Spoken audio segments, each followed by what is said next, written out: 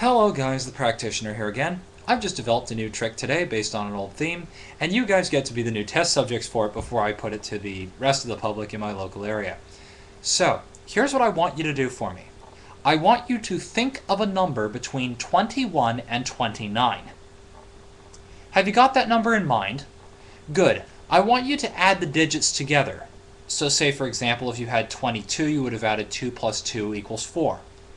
Now I want you to take the sum of the digits and subtract it from the original number. So in this particular case, again, had it been 22, it would have been 2 plus 2 is 4. 24 minus 4. You get my idea where I'm going with this, right? Okay, good. So now, have you done that subtraction? So you again, remember, you've, you had to add the digits and subtract the sum of the digits from the original number. Okay, good.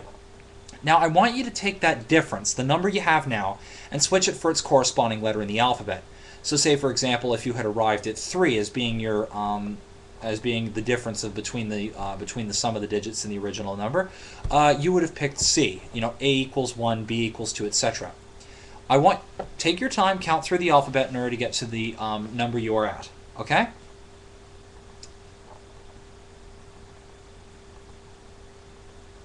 Okay.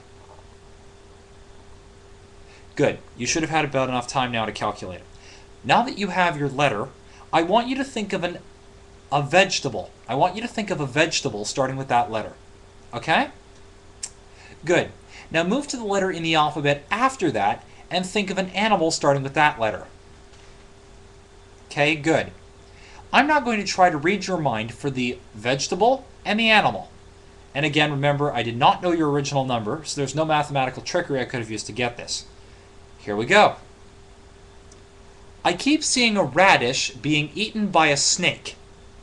A radish eaten by a snake. Um, if I got that right, great. Uh, if not, post below. Um, again, this is a prototype. I think you'll have figured out by now how I've done this trick. Um, try it on your friends. I trust that your friends will be bad enough at math that they won't figure out how they did this, how I did this. And um, yeah, I hope you enjoyed. Um, stay tuned for my next trick, um, which is um, a magic trick purely for calculus students. Um, if you don't know calculus, uh, this trick will go like, what the hell was I just talking about? If you do know calculus, this trick will not be impressive. But I'm still going to just try it anyway. I just want to see if you can figure out how I do it or not. Uh, remember, math, uh, math groupies only for the next trick. See you around.